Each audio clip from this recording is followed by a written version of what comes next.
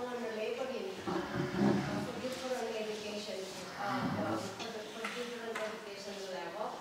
Um, so there is uh, the peak, especially for the higher education, is going up and reach the peak, but then once you get the peak, it suddenly dropped down.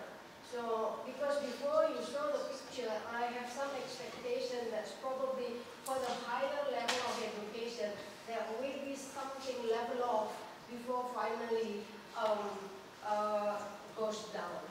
And then one of the things that I'm expecting um, uh, things that uh, the, the retirement age different. So it seems there is, regardless the education, there is um, the point when it goes down very fast, um, regardless the education. So is that the retirement age is the same, regardless the, No. the education? So, uh, yeah, Yeah. just I want to, Yeah.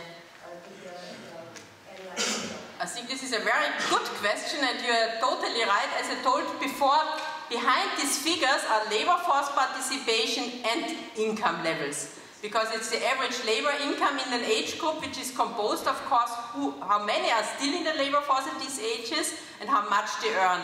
And this decline is basically really driven by that we are also, in a sense, uh, losing people who are exiting the labor market. And you are right. I mean, the exit of the labor market is very different across educational groups. Uh, but there's something specific, I think, also to Austria here, why it drops that fast. We have a lot of civil servant uh, employees in the higher educated group. And they are quite protected and they often leave the labor market also quite early. And I think that's a special case also for Austria. Is this okay? Thank you. Is it working? Yeah. Thank you very much, Alexia, for the uh, excellent presentation. You made a very clear point and convincing that uh, society should invest in education. That's right. The question is, who should invest in education? If it is the governments of society, that means it's paid from taxes. It means it's also paid, uh, the taxes are also paid by those people who really do not benefit from education and also they retire, uh, they don't live that long, they have, uh, and their retirement income is less. And you already mentioned that lower income is subsidizing the pensions of higher incomes. So who should invest in education? Is it society or is it the individual who benefits from education, like in the US, where uh, the uh, student debt is extremely high? Uh, I think it's an interesting question, we had a talk last week at a different workshop, at the vintage workshop, uh, of Ben Hydra, who was exactly looking in this different kind of financing of education. And I think it's, honestly speaking, a difficult question because it's really the objective you are following. And I think it's like uh, when you're following an objective of equal kind of opportunities or something, I think then it should be, of course, the state who has to kick in. I think in the basic and in our case also, I think in the lower and upper secondary education, but I, I fully agree, I think uh, not everyone will continue then to the tertiary education and that's really the point, I think, how you can make it more equal in a sense that those who profit the most also contribute more to it, I think. And my feeling is, I think one option could be really through the pension system, which is not differentiated yet by education. Because that's where in our figures we see they have quite high profits also later on in their life.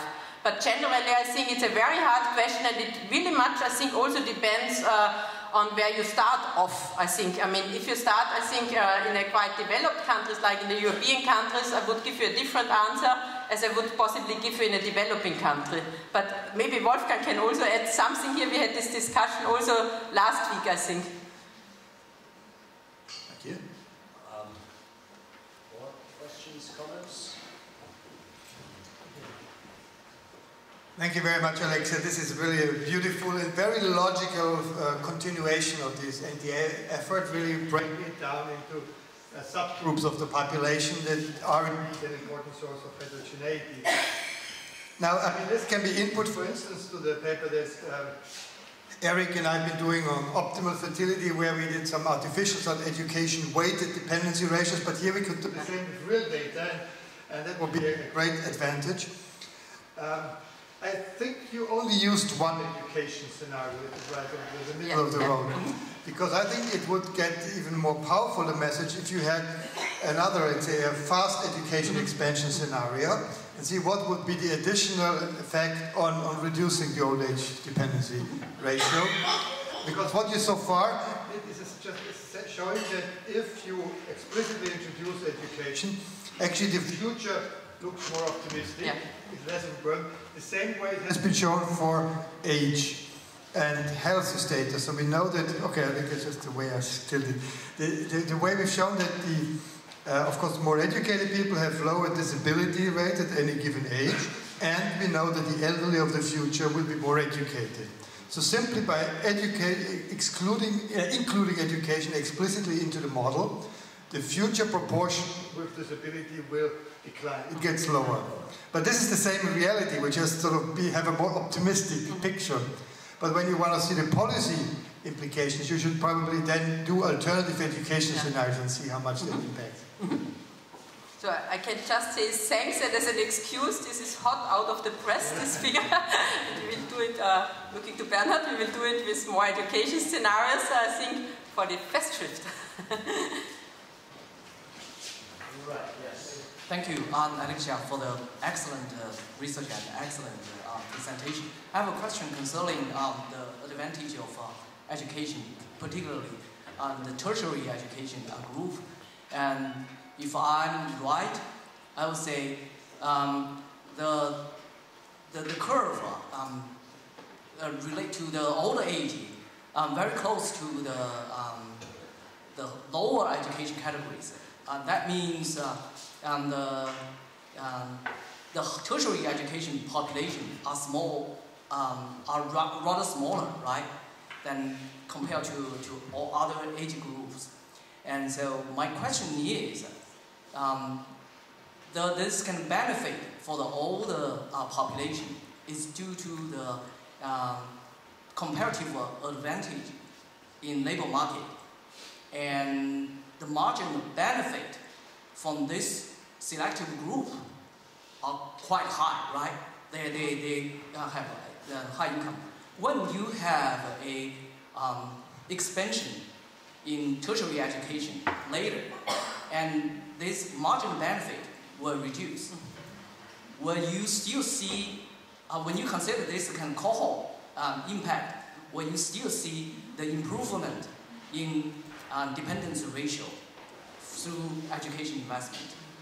Uh, you're exactly asking uh, what I put on a slide, which I did not present, and this is, of course, we have a lot of cohort effects in. And I think this is the older people we are looking here at the tertiary education, they are not representative of what we will see in the next 20 years, because it was a very selected group and they were on the labor market, they had also quite a, a good time on the labor market and so on. But I think on the other hand, as an excuse, what I could see Though you are right, there might not be any more such a selected group, it might not be that positive anymore on the labor market, but I did put this figure on the consumption on the slides as well, because I do think you cannot just look at the older people, how much they cost the society, without ignoring that they have been young also. And when they are young, I think they are also producing and they are consuming. And I think having higher educated people in, even if they are maybe not contributing so much as we see at the moment in these figures, being not such a selected group anymore, they will still have a higher consumption pattern, I think, and a higher demand pattern. And I think uh, Michael is just doing a project where they also look at the health demand, I think, which is partly also driven by different kind of heterogeneous group in our society. It's not that just like that we are developing new technologies in a sense like for economic growth, it must be demanded. And I think it's the higher educated which might demand through the different behavior also quite economic positive things in a society. So I think that's, uh, but you're totally right, it's a shift share analysis, it's a descriptive simulation, and I mean with Miguel in these more CGE models we are also doing, we can exactly include and more pretend that we are really having these cohort behaviors in.